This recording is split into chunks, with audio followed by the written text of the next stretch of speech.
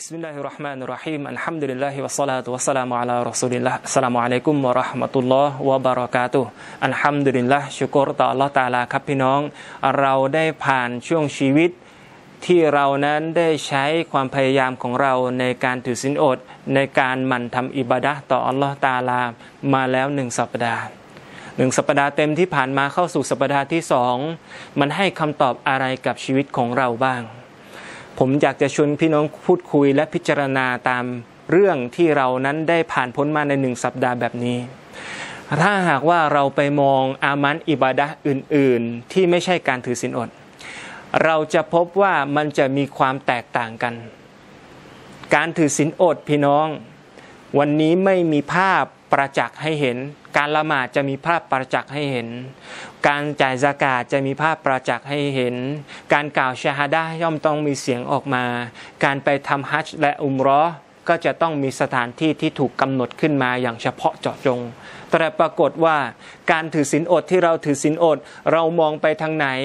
เราก็ไม่เห็นภาพที่ชัดเจนว่าคนคนนี้ถือศีลอดหรือไม่แยกไม่ออก แต่มันจะรู้อยู่ในตัวของบุคคลคนนั้นว่าเขากำลังถือศีลอด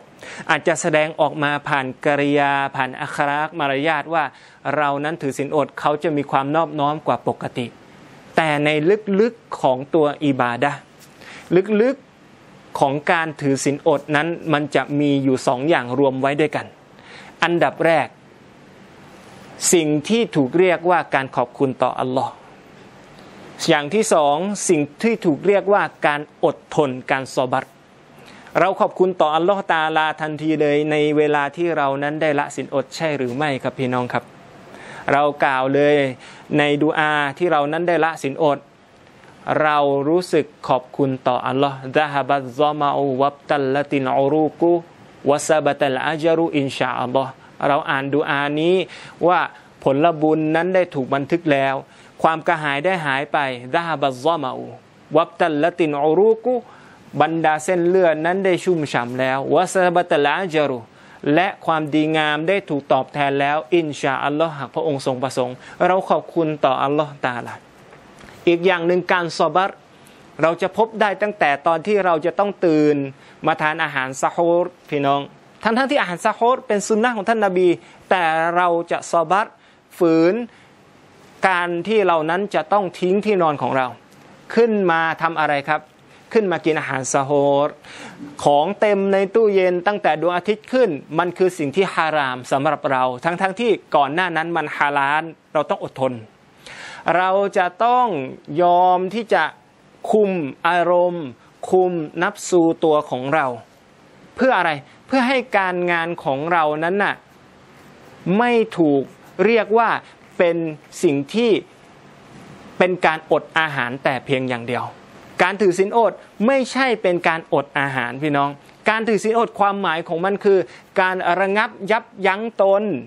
จากการกิน การดื่ม การมีเพศสัมพันธ์และอารมณ์ของตน ดังนั้นพี่น้องครับมันไม่ใช่แค่เรื่องของการอดอาหาร อย่างฮะดิษนบีสุลต่านละฮ์อะลัยฮิวะสลลัมบอกเอาไว้ว่า ใครก็ตามที่ไม่ละทิ้งคำพูดที่ไม่ดี และการกระทำที่ไม่ดีนั้น การอดอาหารของเขาการที่เขานั้นอดเครื่องดื่มต่างๆ ของเขาไม่มีความหมายเลยนะอัลลอฮ์ตาลา มันถูกเรียกว่าแค่ความอด แค่ความหิว แค่ความกระหายเท่านั้น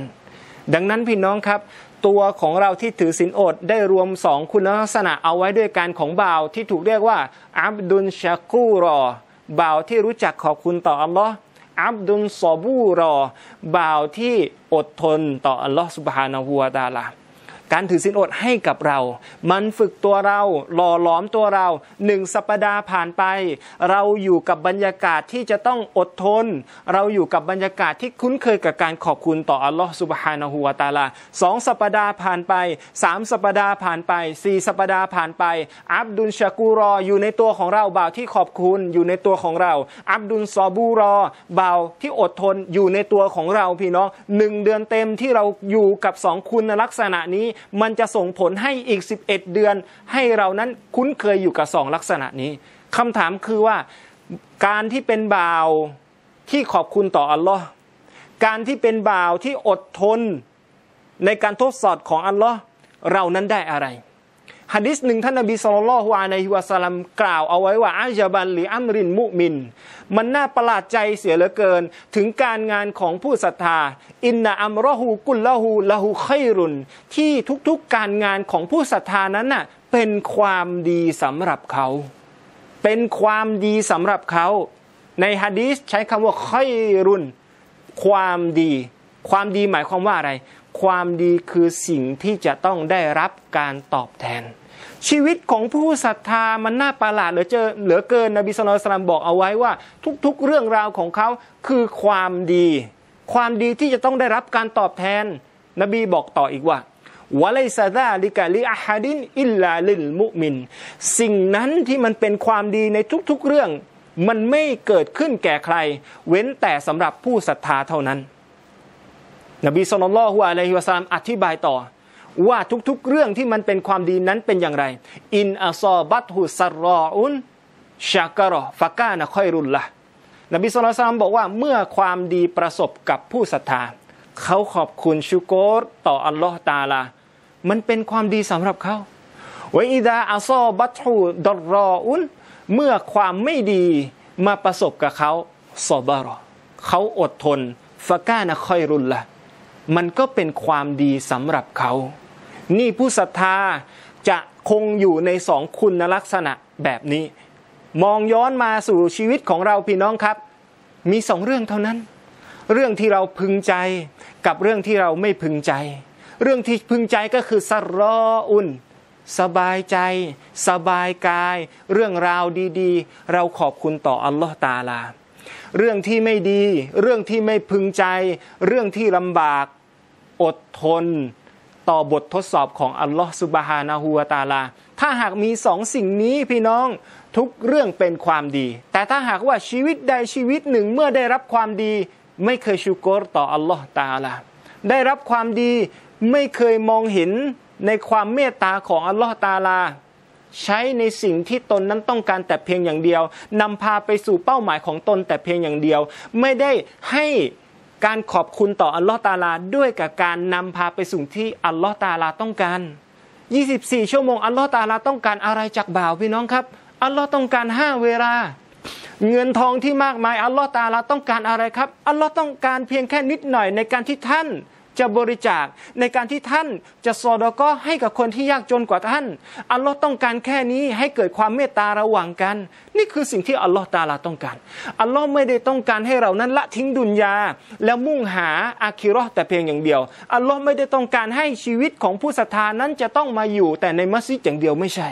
แต่อัลลอฮ์สุบฮานตาลาต้องการให้บ่าวนั้นน่ะได้มีคุณภาพชีวิตทั้งในดุนยา โดยไม่ละทิ้งการตอบแทนที่ดีงามในโลกอาคิรอหลายต่อหลายเหตุการณ์ที่ซอฮาบะนั้นได้ปฏิบัติหลายต่อหลายครั้งเขานั้นอยู่ในสนามรบ แต่หลายต่อหลายครั้งเขานั้นก็เป็นพ่อที่ดีในสังคม หลายต่อหลายครั้งเขาเป็นนักรบผู้กล้าในสนาม แต่หลายต่อหลายครั้งเขาก็เป็นคนรักที่ดีต่อภรรยาของเขา นี่ชีวิตของผู้ศรัทธามันมีความลงตัวการที่เราถือศีลอดในเดือนรอมฎอนเรากำลังฝึกครับ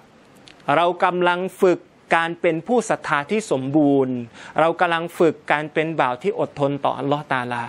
เรากำลังฝึกการเป็นบ่าวที่รู้จักการขอบคุณต่ออัลลอฮ์สุบฮานาหัวตาลา ขอให้เรามีคุณลักษณะสองประการนี้ตลอดระยะเวลาที่เราถือศีลอด อินชาอัลลอฮ์มันจะเป็นไปอย่างที่นบีสุลต่านละฮ์อะลัยฮิวะสัลลัมได้กล่าวว่าทุกเรื่องของชีวิตผู้ศรัทธานั้นเป็นความดีอินชาอัลลอฮ์ชีวิตของเราจะมีแต่ความดีงามครับ Wabillahi taufik wan hidayah. Assalamualaikum warahmatullahi wabarakatuh.